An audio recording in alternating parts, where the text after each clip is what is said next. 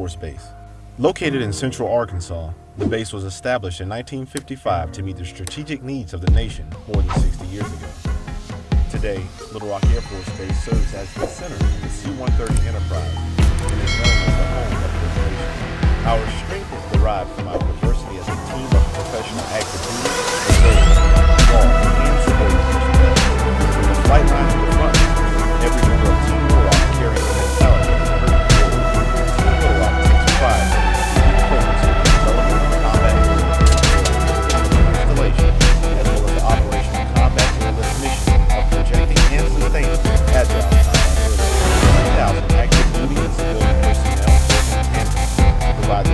the largest C-130 fleet in the world.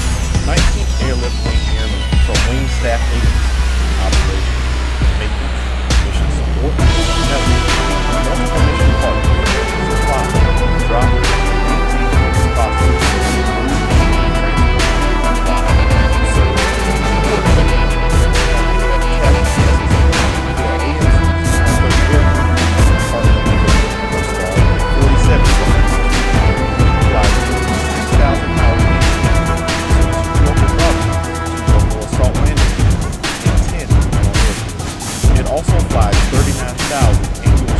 flight training hours and is CPA training more than 1,200 students annually, including more than 150 international students in the DoD's largest international flying training program.